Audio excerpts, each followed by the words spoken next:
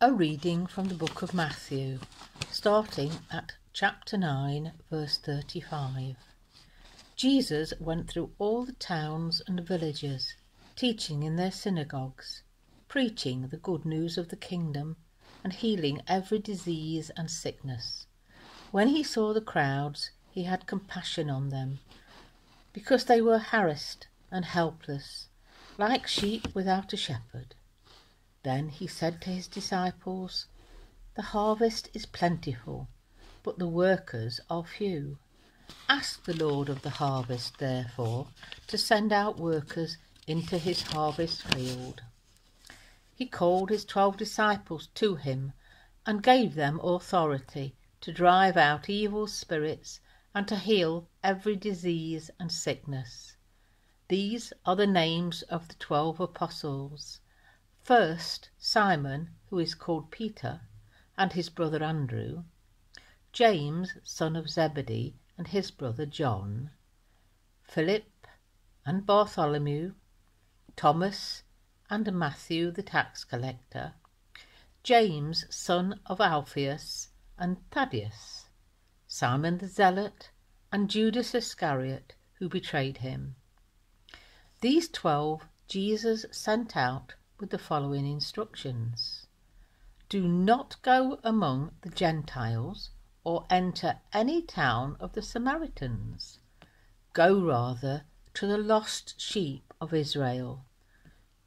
As you go, preach this message The kingdom of heaven is near.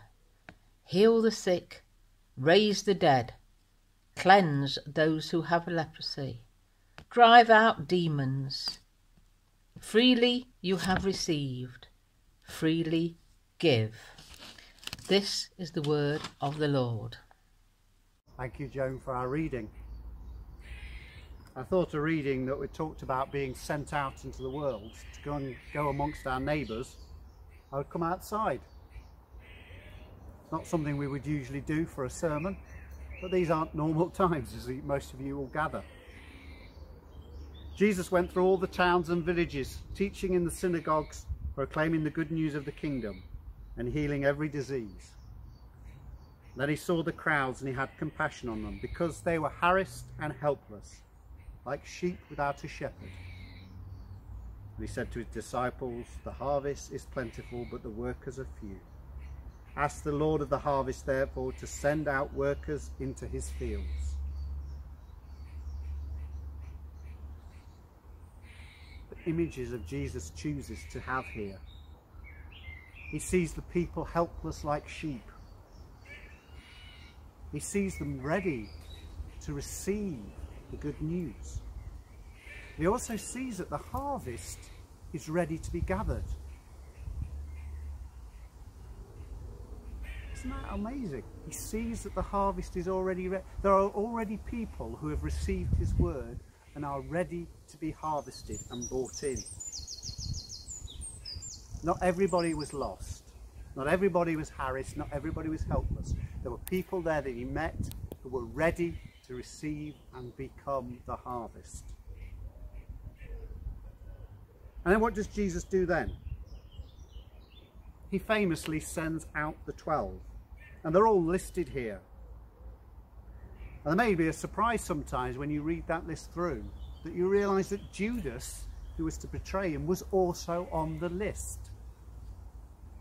Judas was one of the people who experienced what it was to go into these communities and preach Jesus' name and to cast out demons.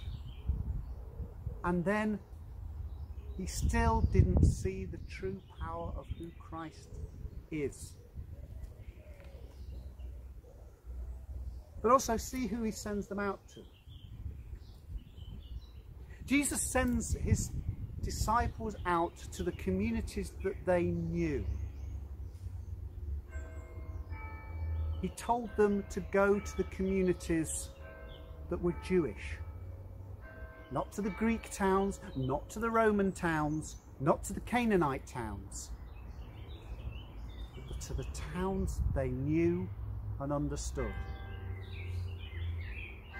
And there's our wonderful church bell. So here he is sending them out into the communities that they knew and understand, into the culture that they knew and understood, to be amongst the people that they knew and understood.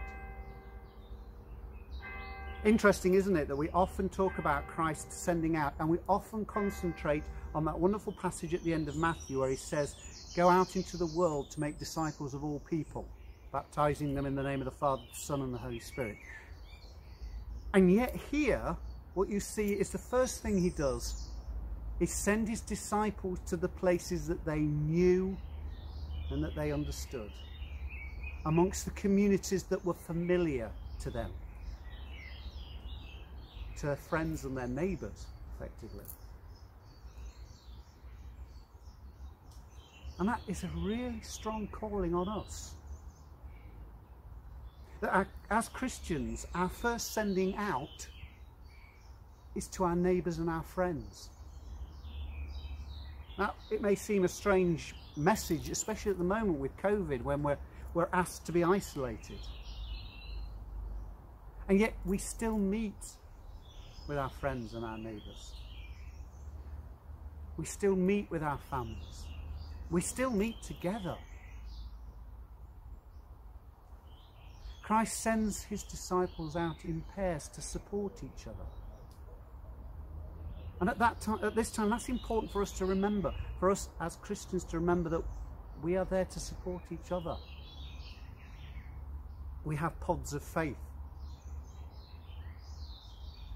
So here he is, sending out his disciples amongst the community that they know, amongst the people that they understand, to give them the message that he has seen that these communities need. Remember at the beginning, he's in the synagogues, he's healing the sick, he's healing the disabled in the synagogues and amongst the people he knows, in the communities he understands and he then sends his disciples into those communities. I think that is our first calling. Is to our neighbours and our friends, to the communities we understand. And at the second point, we are sent out into the world. For many of us, our mission, our evangelism will always be amongst those that we know and in the communities that we know. And that is our blessing. Father God, Christ sent out his 12 amongst the places that they understood and in the communities that they were familiar with. Lord, we pray that you do the same for us